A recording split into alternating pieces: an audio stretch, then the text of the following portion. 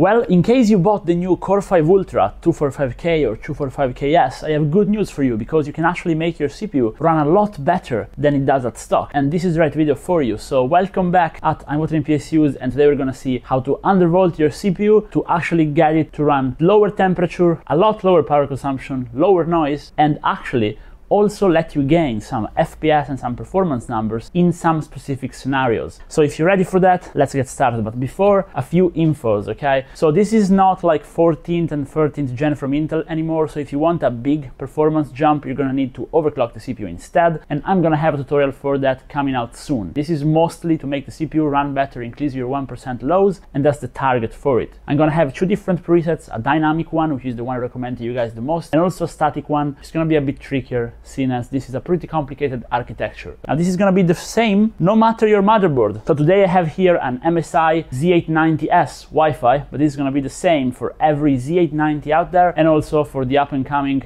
B860s and really for whatever motherboard, no matter the brand. So it can be Asus, MSI, Gigabyte, ASRock, doesn't matter, it's gonna be the same. The only difference is gonna be the name of the settings. They're gonna differ a little bit, but I'm gonna try to tell you guys how they're called in different BIOSes. And this is also something we're gonna be doing in the BIOS. So let's go in the BIOS and let's get started. But before, promise me one thing, okay? So if the PC is gonna run a bit better after the video, please thank me by dropping a like and subscribing, but after the video, not now, okay? Let's get started. Now here we are in the BIOS, don't be scared just because it's white, it's uh, the new MSI BIOS. I don't love it, but it works, okay? So first off, we wanna go into the advanced options. And uh, in my motherboard, it's F7 as you can see, but the motherboard is gonna tell you which button it is. So once we're here, we just wanna go on the overclocking tab directly, there's nothing else anywhere else. First thing we wanna do, big disclaimer, massive disclaimer, is you wanna have your XMP enabled. That's the RAM because if you don't have your XMP enabled, your RAM is not running how it should.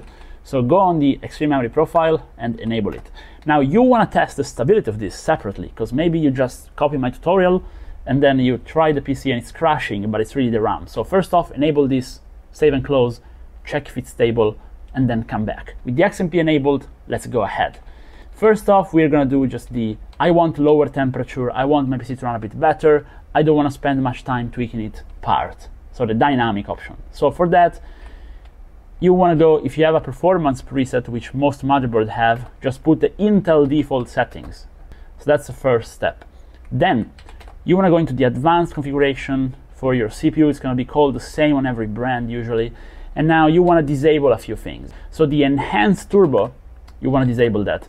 Now this is going to lose you a little bit of performance, but we're doing this for efficiency. And the enhanced turbo sometimes pushes the CPU too much so just take it off. You want to go all the way down until you find the CPU DLVR control. Now, this is very important, but we are not touching this for this preset. We're touching it in another preset, okay? So leave it on auto. Now, leave all the frequencies on auto, go all the way down until you find our nice CPU voltage. But these have different names, different motherboards, so they can be CPU core, vCore, CPU voltage. But now we have two of them we have the VCC and we have the core voltage. Okay, VCC on top, core voltage on the bottom. What this is, is basically CPU now has something that's called DLVR.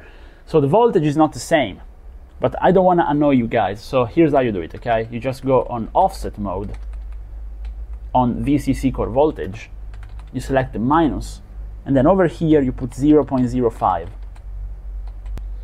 you then go under CPU P-core voltage mode, you go on offset here too, you go on minus, and now here you put 0.05 as well. And this is gonna basically be it if you just wanna do a dynamic undervolt. So if you wanna just copy it, just disable enhanced turbo, do this, and your PC is gonna run cooler, quieter, draw less power. However, this is not quite the best configuration. So if you want to stick around, I'm going to tell you a few extra things, okay? But it gets tricky. So basically, the spread between those two voltages is going to be wasted voltage. So even though it doesn't make sense, sometimes if you leave this on auto, so you leave the P-core voltage on auto, and you just uh, offset the VCC, you are gaining actually more performance and more temperature gain this way. So you want to try this out, see which one works better. Also, if for some reason your PC is unstable, you need to reduce this number. Or if you have two, just do it on both, okay? And I'm gonna do it just on one to keep it simple. If your PC is unstable with 0.05, try 0.04. If it's still unstable, 0.03. But really, 0.05 is gonna work for most of you guys. So nothing to worry about there. If you wanna, on the other hand, try to push your PC more, make it run even better, you may wanna try 0.07 if you're very lucky.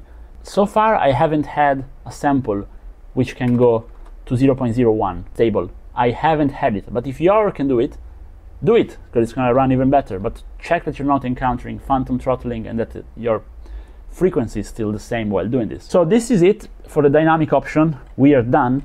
But in case you want to stick around, I'm also going to show you guys the DLVR thing I was talking about before, okay? So at this point, the video is over, but if you want more performance, you're probably wondering, hey, you told us more performance. Okay, so here's how you do it.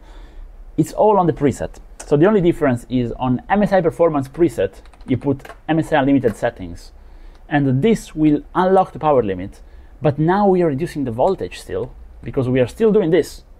Not with 0.01, of course, but with 0.05 Okay, so we are still doing this, which is basically allowing us to decrease our voltage but increasing our power limit. So by doing this, if the CPU can, it's gonna boost higher and for longer. So you're gaining performance by doing this.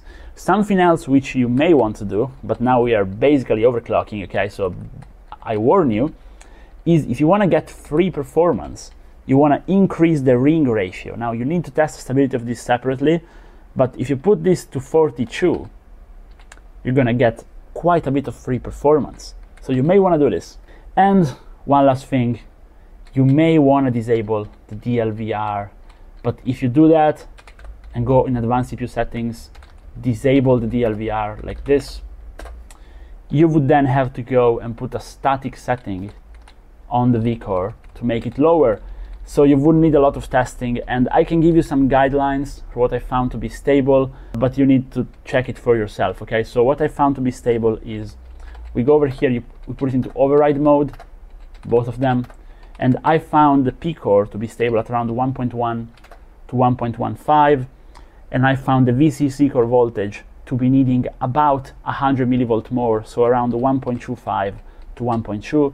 And while doing this, you want to get usually your P-core a bit lower. So you can try it with 4.2, but it's better to just go here and put the ratio on 50. And uh, I mean, while you're at it, you may also want to raise your E-core frequency, but uh, let's not get this too complicated, shall we? Or it's going to be overclocking. If you want to overclock it, I have a dedicated video for you guys. I recommend you just do the simple stuff. And uh, it's a pretty tough platform to undervolt.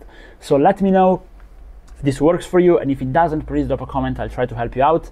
And also if you found a better way maybe you're from the future and you know like did some BIOS updates just drop a comment let us know what you're doing and i hope we can have a healthy discussion and uh, make your pcs run better okay? And uh, if you like the video drop a like and a sub especially remember you're promised if the video helped you. Bye bye